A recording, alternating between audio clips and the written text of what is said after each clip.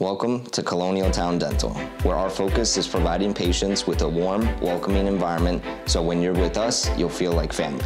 Our goal is to provide you with a great, local, family oriented, and affordable experience to bring out the very best in your smile.